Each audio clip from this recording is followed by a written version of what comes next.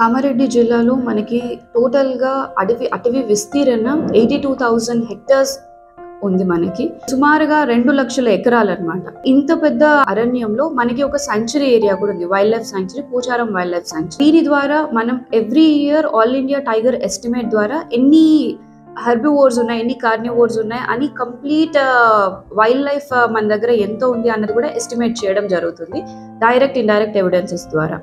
So దీని ప్రకారం మనకి అట్లీస్ట్ సుమారుగా ఇరవై నుంచి ఇరవై రెండు వరకు చిరుతలు ఉన్నాయి కామారెడ్డి జిల్లాలో. అండ్ మనకి చాలా రకాల వైల్డ్ లైఫ్ కానీ పాక్యుపైన్స్ కానీ స్పాటెడ్ డియర్స్ కానీ చాలా రకాల జంతువులు ఉన్నాయి.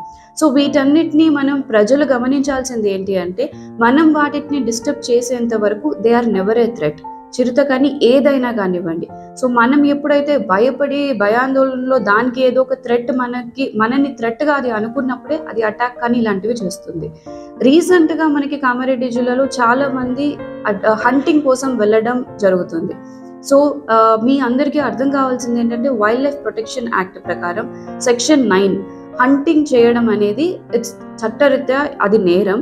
ఆ సెక్షన్ నైన్ కింద అండ్ సెక్షన్ ఫిఫ్టీ వన్ కింద వాటి వాళ్ళ మీద it is a non bailable offence so దాని మీద ఖచ్చితంగా చర్యలు తీసుకోబడతాయి. అండ్ హంటింగ్ అంటే ఒకదాన్ని చంపడం వల్లనే వచ్చింది కాదు. Hunting definition is very wide ఎవరైనా అటవీలోకి వెళ్ళినా ట్రెస్ పాసింగ్ చేసినా ఎటువంటి uh, వెపన్స్ క్యారీ చేసినా అవన్నీ కూడా హంటింగ్ కిందకే వస్తాయి. We have to live and let live so coexist చేసుకున్నప్పుడే wild లైఫ్కి మనకి కూడా మనం నేచర్ని కన్సర్వ్ చేయగలుగుతాం వాటన్నిటిని ప్రొటెక్ట్ చేయగలం. సో దగ్గరలో ఉన్న ఫారెస్ట్ రేంజ్ ఆఫీస్కి ఎవరు ఇలాంటి ఎవరైనా హంటింగ్కి వెళ్తున్నారు ఇలాంటివి ఎవరు అబ్జర్వ్ చేసినా కూడా దగ్గరలో ఉన్న నియరెస్ట్ ఫారెస్ట్ ఆఫీస్కి మీరు ఫిర్యాదు చేయగలరు.